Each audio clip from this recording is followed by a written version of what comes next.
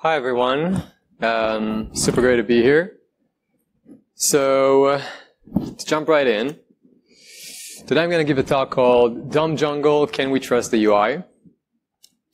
So, a little bit about me to give you some context of like, why am I going to be talking about this today?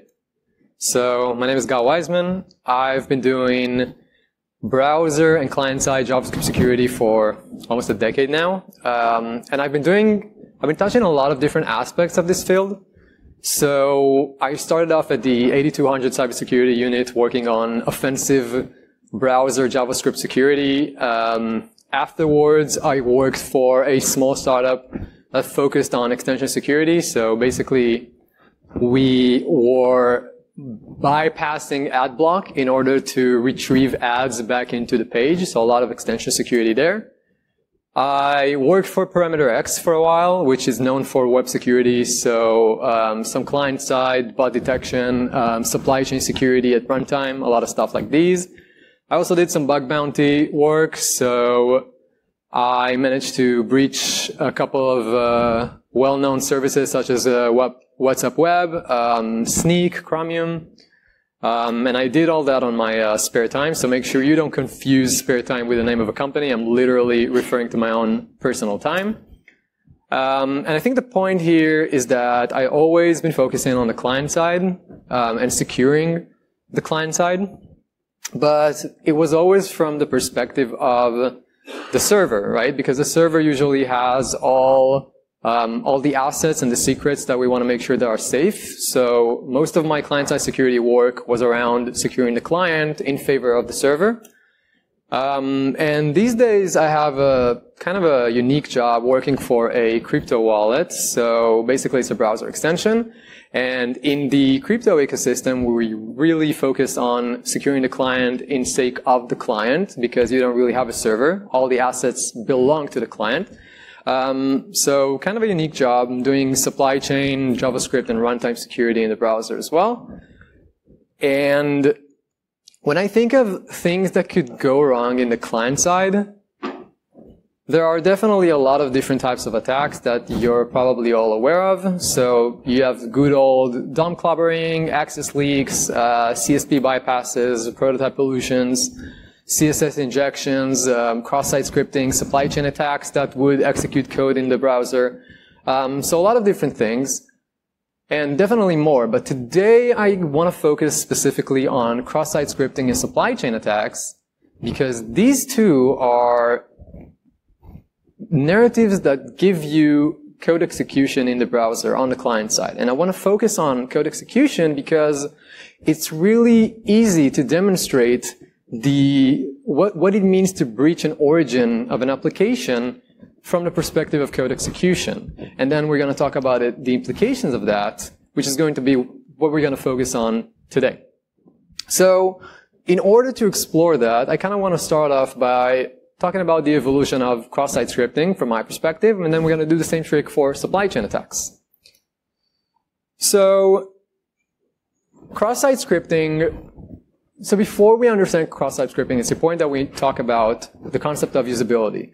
So usability is really the ability to use software or technology or an ecosystem or a programming language. And in the context of the web, it really, one major aspect of usability is the ability to provide input by the user, right?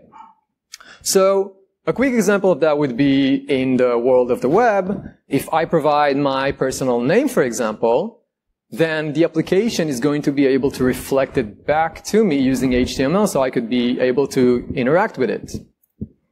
But if you think about usability from a perspective of security, specifically from the perspective of code execution, then that is how cross-site scripting was introduced, right? Because you could do this simple thing where instead of only providing your personal name, you also provide some content that just fuses in to the HTML that's being uh, presented, presented to the user and becomes executable code. So that is how we think about cross-site scripting.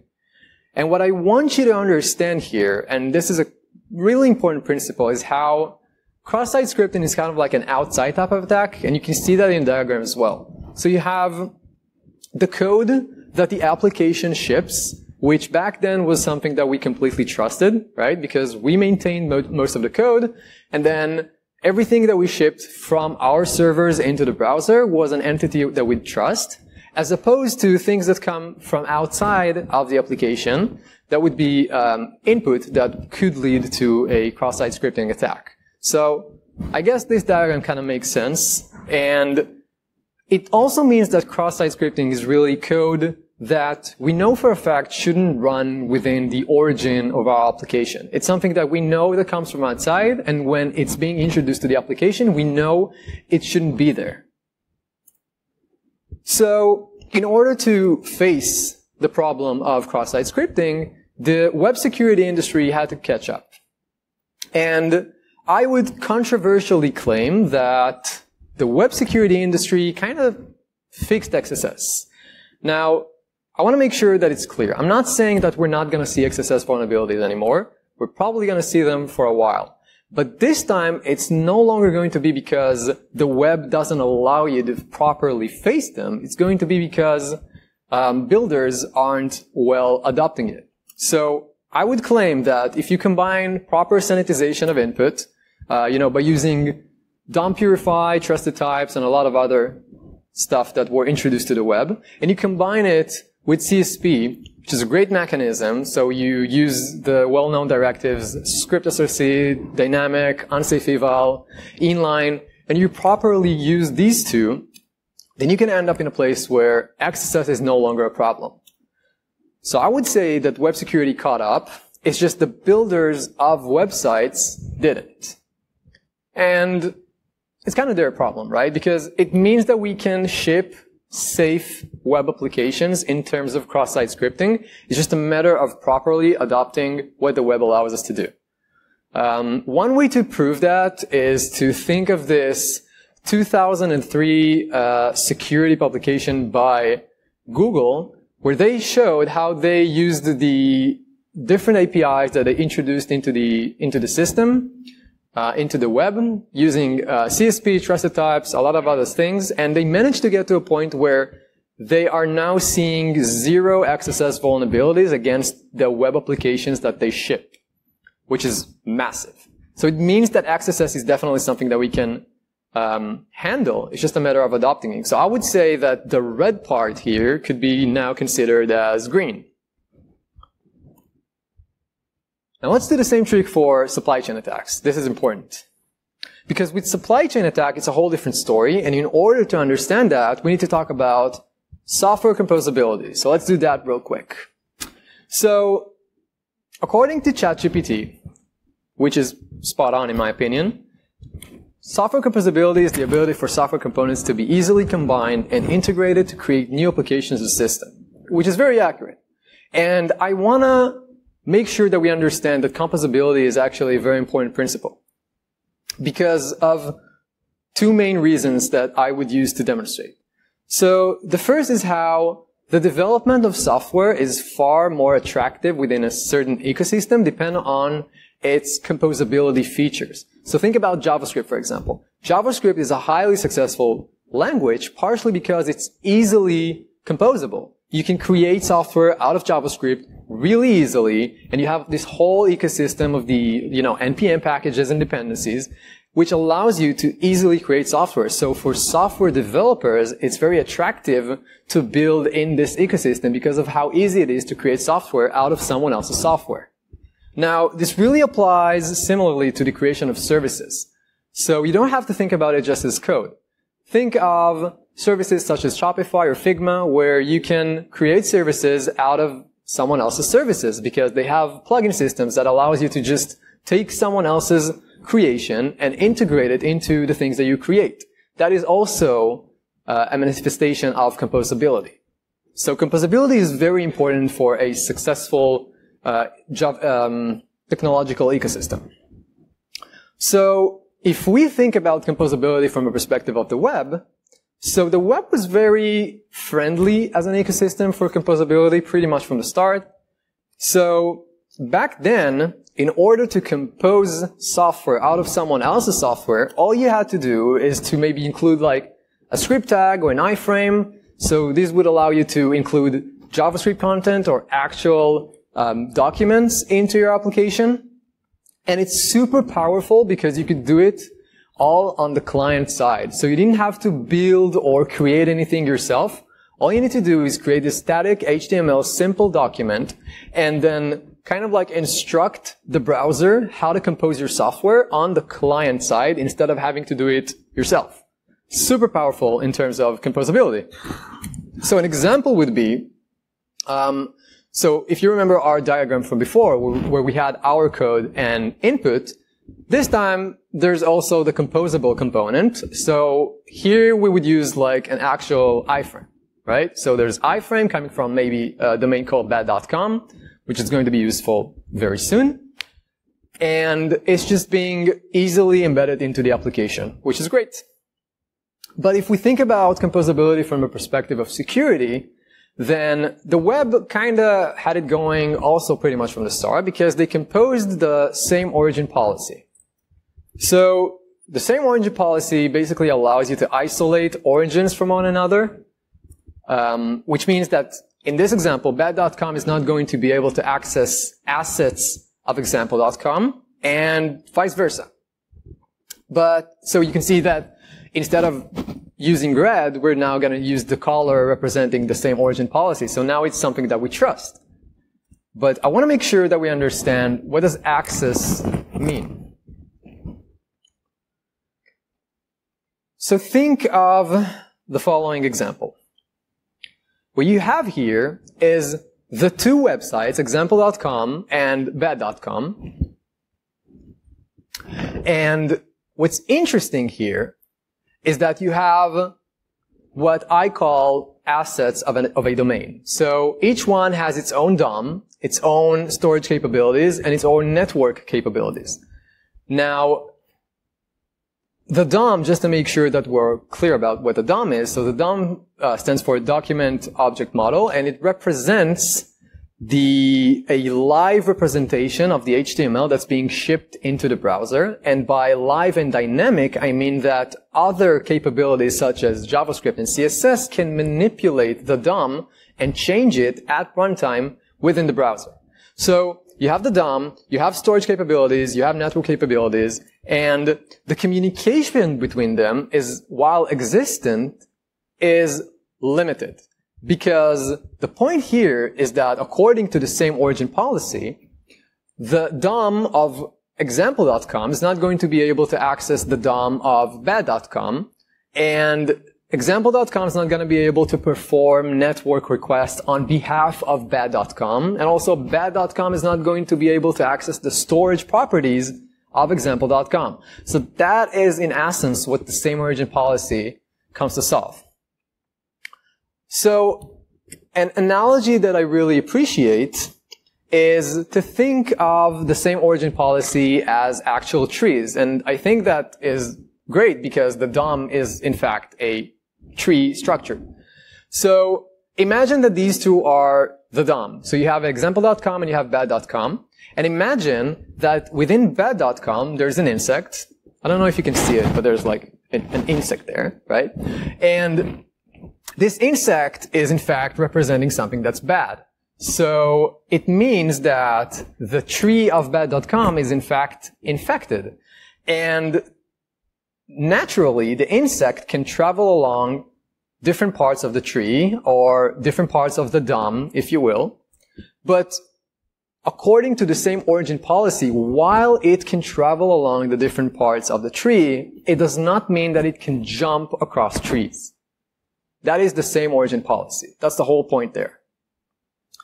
So now let's continue this exercise and talk about composability in the present. So there's a major shift in how we compose software in the web ecosystem because nowadays we mostly use the build time to compose software. That is because the composability features of JavaScript dramatically improved uh, due to a well-known ecosystem called NPM, so NPM basically allows you to uh, consume dependencies and packages and code created by other people really easily into your application. And that's just like a JavaScript thing, but because of JavaScript being the language of the web, it means that composability for the web naturally improved.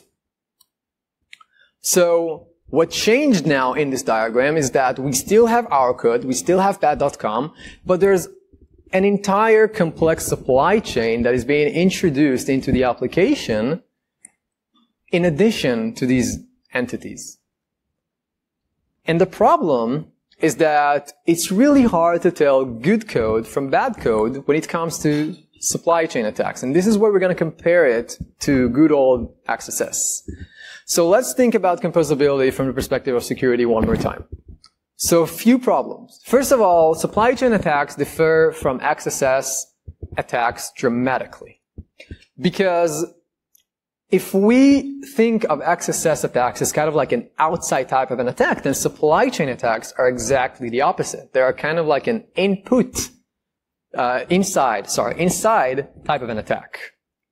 So it means that we are at a point where we can't really trust our own code and our own application anymore.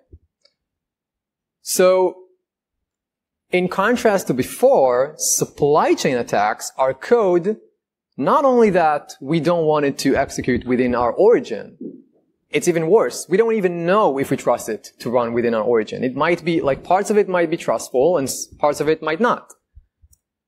The second component is how it's not only a new problem, like, it's not that some part of the application is now introduced via a supply chain.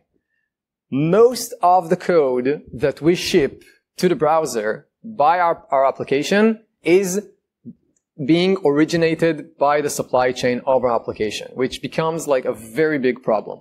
And the worst part, which is what we're going to talk about today, is how the web isn't really ready for this problem. Because I would claim that we have a need for an increase in the resolution in which we isolate entities. So think about the same origin policy allows you to isolate different origins and different documents. But we need something deeper. We need to be able to isolate entities living within one single origin, such as dependencies, such as script tags, DOM nodes, a lot of entities that live within one single origin now need to be isolated from one another because we can't trust the code that we ship through our own origin. That is the point that I want to make. So, just to sum up real quick what we had so far. So the same origin policy allows you to isolate origins from one another. That's great. So it means that bad.com cannot access example.com and vice versa. But this also means the opposite. It means that there's zero isolation within one single origin by definition. That is the definition of the same origin policy. It means that anything within bad.com can access anything within bad.com. And it means that anything within example.com, the application that we trust, can access anything else within our application. So the equation that I want you to remember is how the lack of isolation within one single origin combined with a very complex supply chain of code that we can't trust anymore is going to result in a chaos. So that's what we're going to talk about.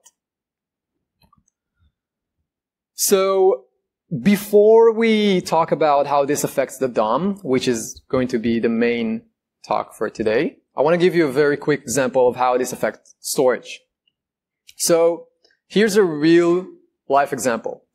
Visit web.telegram.org, the well-known Telegram application, log in, copy your local storage, and then open another tab in which you're not authenticated with, and then take the local storage that you copied and just paste it back into the local storage of that new tab. And when you refresh, you're going to find that you're logged in to the application. You're going to be fully authenticated. Now, in the traditional use case, that makes sense because it belongs to the same origin of the application and therefore we trust any entity to access it. But as we're discussing today, this isn't very relevant anymore, which means that this could be compromised. Because if you can do this manually, it means that JavaScript code running within the Telegram application can do the same thing. So if it can access the storage and steal your credentials and so easily log in on your behalf, it means that maybe we should do something about it. This is just like a, an example of the different keys that if you copy, you're going to find out that you're going to be logged in. Now let's talk about the jungle. So the DOM is kind of like a jungle and it's very well isolated across domains. Um, but within one single origin, it's kind of a jungle. It's kind of a mess. And it really all comes down to um, encapsulation. So I want to make sure that we understand what encapsulation means. Encapsulation allows you to restrict direct access to some components of an object. Um, and in order to demonstrate encapsulation, I think JavaScript is a very well example for how encapsulation could be done um, correctly. So scopes is an excellent way to encapsulate information safely. So consider the following example. Here you have JavaScript scopes, and you can see here that I created this function that when you invoke it with a certain secret, then it's going to return to you another function that when is called uses the secret, the information that you encapsulated within that function. So it's going to make use of it. It's going to store it within that JavaScript scope. But the point is, is that you're not going to be able to access it anymore and no one else would. So if someone has access to the function, that doesn't mean they're going to have access to the information within the scope. So storing information in JavaScript scopes securely is something that we can definitely do. And that is the essence of encapsulation. But if we think about it from the perspective of the DOM, then the DOM is really terrible for safe encapsulation because there's literally no encapsulation within whatsoever. You can jump around different DOM nodes within an application um, by definition. There's no DOM node you cannot travel to from one other DOM node in the entire application, um, as long as the DOM node is attached to the document. And it gets even worse across iframes. So as long as the iframes share an origin, then you can also travel through DOM nodes of different documents of different iframes than the DOM nodes of the document of the application itself. So why is this a problem? So if we consider one more time the example from before, then we're going to learn that this time the problem that we have is not how we have example.com and bad.com where the insects live within bad.com. The change here is that the insects live within our application, within example.com, and there's no way for us to confine them to the parts that they infected. That is the essence of what we're talking about today. So, why does encapsulation matter for the DOM? So, two problems that we have with this um, with this problem, right? So, one thing that can happen is that attackers can read from the DOM at any point. So, one thing they can do, they can wait for the user to insert sensitive information into the application, into the DOM, and once it's attached to the DOM, they can steal it from the DOM because as we said, there's no encapsulation for the DOM, so anyone can access anything about it. So, just like this very quick example, imagine that I ask the user to provide uh, my email address and, sorry, the, the user's email address, and then if there's an attacker running JavaScript code within my origin, they might not have access to the email when it's being, um, I don't know, fetched from a server or introduced into a JavaScript scope. But the minute it's being introduced to the DOM, anyone has access to it. So with this very simple code, code down there, an attacker can just wait for you to introduce the email address into the DOM and just steal it from there. So that is one problem, and you can obviously think of like how this reflects to real life. And the other part of it is how they can also manipulate the DOM. So manipulation of DOM can result in the activity of phishing the user. So you can convince the user to interact with uh, parts of the DOM that the attacker created while making them think that it belongs to the website. Um, and this happened in real life. So um, MageCart was a terrible problem, and kind of I think still is, of a notorious attackers group that managed to breach a lot, like a lot of supply chains of a lot of websites, and they managed to get to a point where where users would introduce their credit information in order to purchase stuff. And instead of providing it to the DOM of the application, attackers waited there and created their own parts of the DOM, convincing the user to, to provide the credit cards against the wrong part of the DOM without being aware of that. That could only happen when you have the wrong um, the wrong kind of access to the DOM. So now for the fun part, I kind of want to give you a real life example. So as I said before, I work for MetaMask. MetaMask is a crypto wallet, which is in fact a browser extension. Um, and it's a self-custodial crypto wallet, which in fact means that there's a private key, which is a precious secret, which is associated with all the assets and information of the user. And that private key is being stored within the crypto wallet, within the extension. There's no server holding that private key for you. Um, so what you need to understand here is that the compromised private key literally means compromised assets. That makes MetaMask obsessed with client-side security. That is one thing that we focus on completely. So as I said before, XSS is not a problem anymore because we properly use CSP, we properly use trusted types and other stuff, and we managed to get to a point where XSS was never found in our application because the web allows you to address XSS very well. And therefore, the number one concern that we have is composability security risks, such as the supply chain, because that is something that the web is not prepared for. So, that is why MetaMask has its own LavaMoat team and the LavaMoat project, which is a project that focuses on sandboxing and confining JavaScript code into uh, different parts. Um, and we're trying to take the idea of confinement to a lot of different aspects. So you have the LavaMoat project, the Snow project, you have scuttling, you have LavaDome, a lot of stuff that we focus on within the application, within the, within the team. And the idea is to be able to enforce isolation between entities living within one single origin. Whether it's storage partitions, which is something that we haven't done yet, but whether it's DOM nodes or JavaScript code or dependencies, this is exactly what we're trying to solve. So today I'm going to talk about LavaDome, which is the one that focuses on encapsulating subtrees of the DOM because we're talking about the DOM today. Um, and forming a proper solution for this problem without the help of the web and merely by virtualizing JavaScript code is a very complicated task. So this is an experimental tool. Um, and it mostly focuses on read type of attacks as opposed to write type of attacks because um, preventing code from drawing to the DOM is a very complicated problem. But preventing JavaScript code from reading parts of the DOM is something that we think we managed to maybe kind of like solve.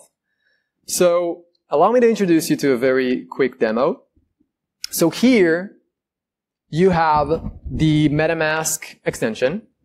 You can see here that one thing that I can do at any point is ask the application to show me my private key. Um, the reason that's relevant is because as a user, I want to be able to interact with my private key, maybe export it, maybe just like look at it, whatever. It's my private key and the application should allow me to do whatever I want with it. So that is the point of this feature. But the problem is that while that key is safely stored in the storage and being encapsulated in JavaScript scopes properly, the minute it's being attached to the DOM, it became a problem because any JavaScript code that might run within our application that we don't trust, potentially, can just wait for the user to introduce this precious secret to the DOM and just steal it from there. You can see that that's perfectly possible. So if, for example, I do, um, I run this command, then you can see that if I look for, for CCE9, then I can find it, right? So I can find the entire key within the DOM and I can access it, I can extract it, and I can steal it as an attacker. So that is definitely a problem because like most web applications wouldn't say that's a problem because they trust their origin. But the whole point of this conversation is to understand that an origin of ours isn't necessarily something that we can trust. So this is what we're trying to solve. Now, on the other hand, I have here the exact same application, but you can see here at the top that I enable LavaDome using a feature flag for the sake of the demo. And I'm going to do the exact same thing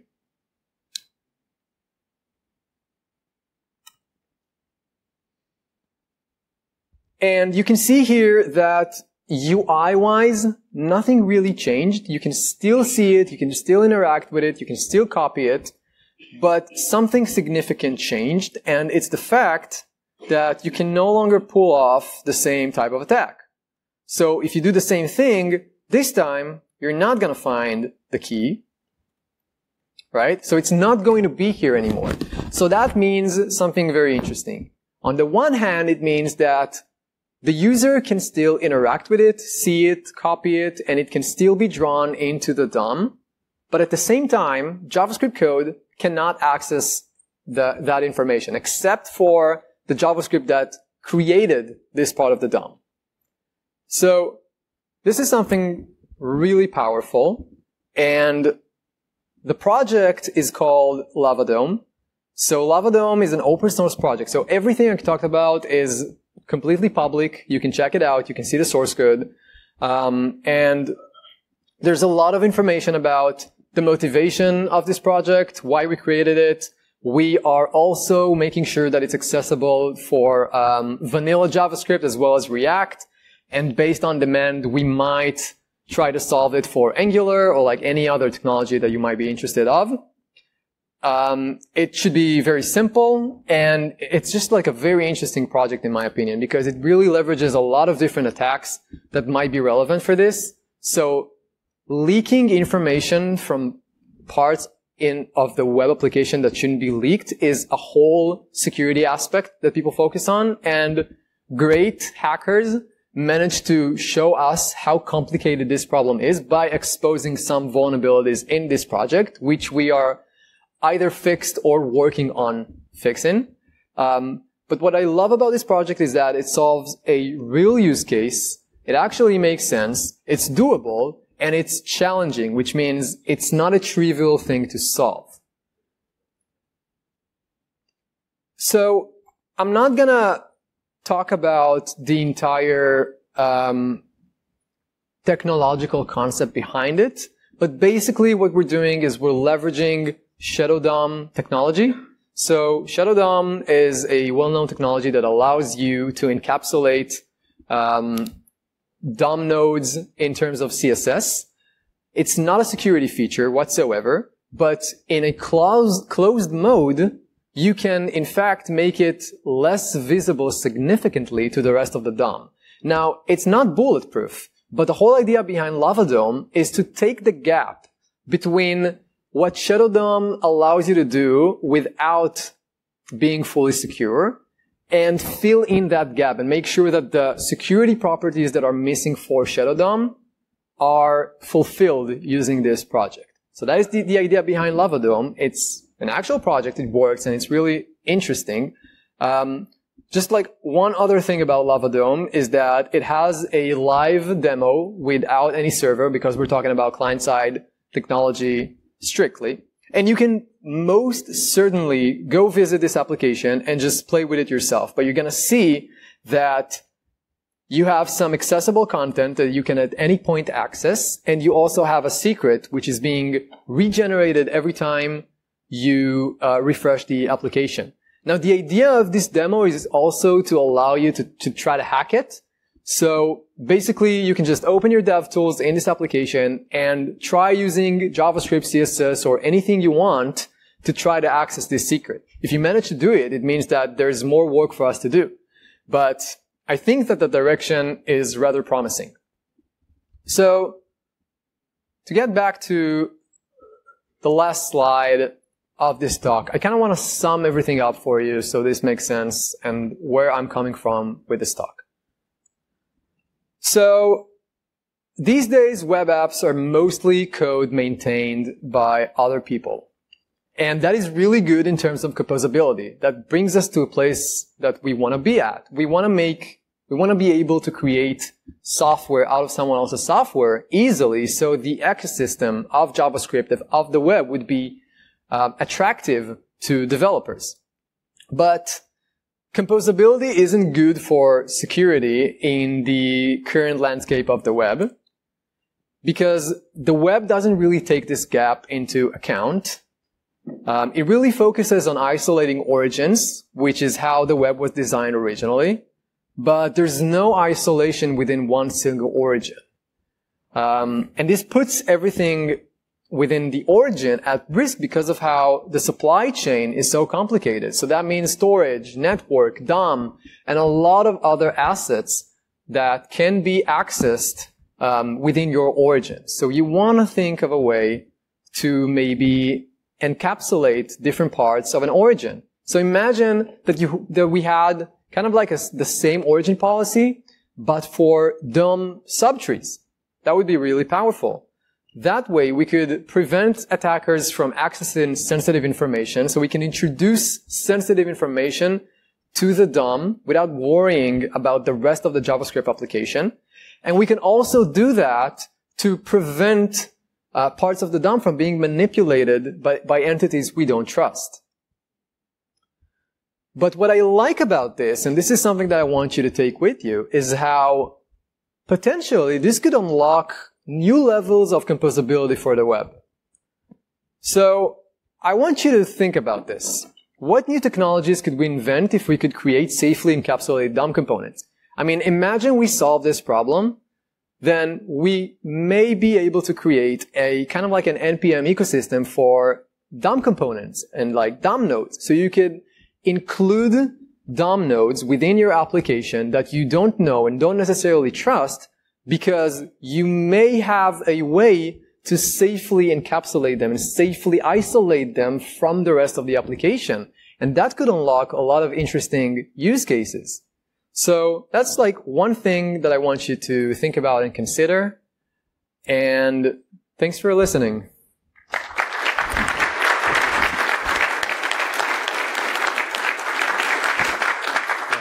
Thank you so much for your talk. It was really, really interesting. And I want to ask if anyone has any questions for Gal. We have a question there.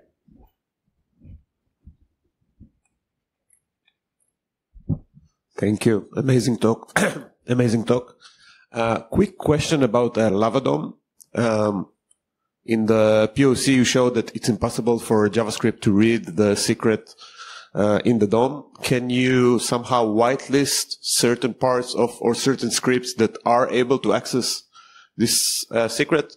So let's say your feature requires some scripts to read this uh, secret, but other scripts should not be able to access it. Is it possible? Mm, I understand most of it, but I'm not sure I understand the question. so let's say you have this private key and you need well, your developer, your feature, product, whatever they want to write a script that actually reads this key for a legitimate use case. Mm-hmm. Another script, not the one that created the key, another script in the origin. You still want to pre- protect it from third party scripts, but not from your own scripts. Got it. Yeah. So the paradigm that we designed for LavaDome is that as the provider of the secret to LavaDome, it means that you are the entity that should have access to the key in the first place. Now, in order for LavaDome to be like truly secure in terms of the web, the only way to, to, to design it to be actually secure is by not allowing anything to access it, even the creator of, of the LavaDome instance. So if you're the one providing the secret, and for some reason you lost it, then your only option is to retrieve it once again from where, wherever delete that LavaDome instance and reintroduce it to the, to the application. But like, you're not going to be able to maybe form a capability that allows you to access the secret and then and then ship that capability along different entities within the application because that would be probably a recipe for chaos. So really the only way to do it is to, like from the perspective of LavaDome, is to is to not trust you with your own secret. If you provide a secret to the LavaDome, I'm going to to display it to the DOM for you, but I'm not going to let anyone access it. So if you want to reintroduce it to the DOM, you're going to have to do it yourself.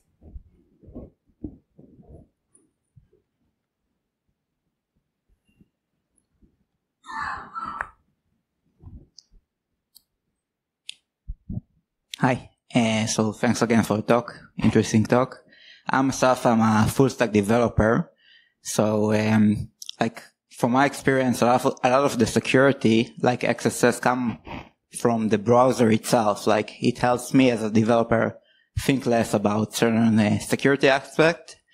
And uh, what you introduced made me think maybe we can leverage what you started here and take it to the next level. Maybe tell the whoever develops uh, Chrome or Firefox, let's use that paradigm you know, that concept and uh, as part of the browser instead of uh, using an external npm package.